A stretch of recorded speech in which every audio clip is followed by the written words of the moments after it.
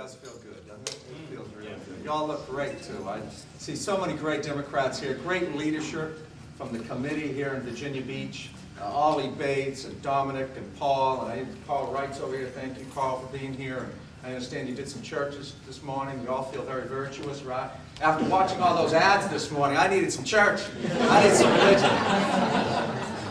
But after watching all those ads, I'm convinced I'm voting for Dr. Ralph Northam, Delegate Paula Miller, Bobby Mathieson, Bob MacIver, and, and Joe Bouchard.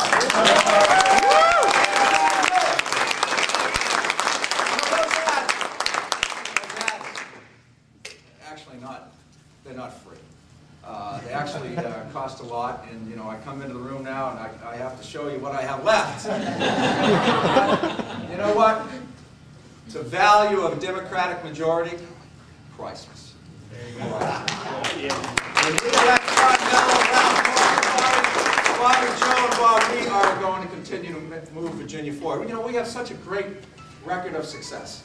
You know, the, the best managed state in the country, the best state to do business, the best state for a child's lifetime success. When we've done it all in a fiscally responsible way, AAA bond ratings, balanced budgets.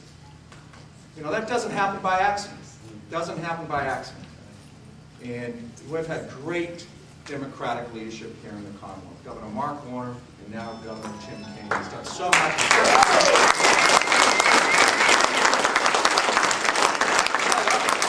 I've served under four governors now, Democrat, Republican, and no governor, no governor has ever done more for his party and for moving Virginia forward as this campaign, Governor Tim Kaine. He deserves so much credit.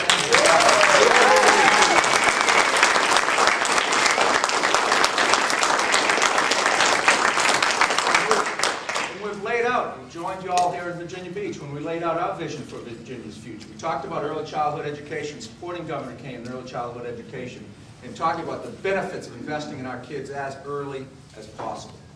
And then we talked about military veterans benefits with Joe and how important that is for all of our returning veterans from Iraq and Afghanistan. Then we, we talked about the environment, transportation. We laid out a vision for Virginia because we want not only to say what the other guy has or hasn't done, but what we will do when we are in the majority. You know?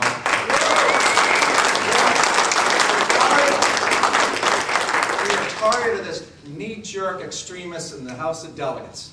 We're tired of this just say no crowd. Let's say no to the workers and the work they do by rejecting an increase in the minimum wage. Let's say no to the promise and potential of stem cell research. No to early childhood education. No to record investments. We're tired of saying no. In fact, the only thing they say yes to are abusive driver fees. it's time for a change. It's time for a change. And this year we are offering wonderful people to get that job done. I mean, I'm just so proud. I've joined the governor over the last several days. We started out in Floyd, uh, Martinsville, Danville. We've been all over Virginia. But I tell you, there is no more important place than these elections right here in Virginia Beach. You all know it. I can feel it. You're all here tonight. I can feel the energy. We need true public servants. I mean, Joe, lifetime career service.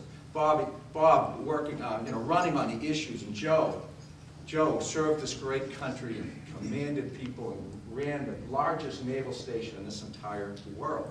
I mean, these are, these are quality people, quality people. We, we need them, desperately need them. Virginia needs them. Virginia Beach, you will deliver them, right? We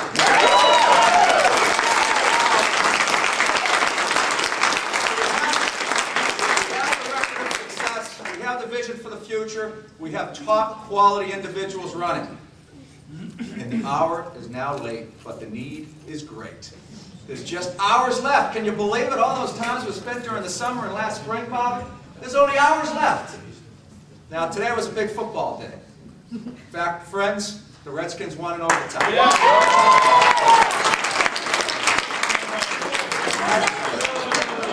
uh, my father actually played for the Redskins, and of course, so his five sons all had to play football. And, but he used to teach us, you leave it all out on the field. All, you play all four quarters, you leave it all out in the field, and when you do that, don't, he used to tell us, don't dare come home with any more energy or strength left. But when you do that, when you leave it all out in the field, win or lose, you can hold your head high.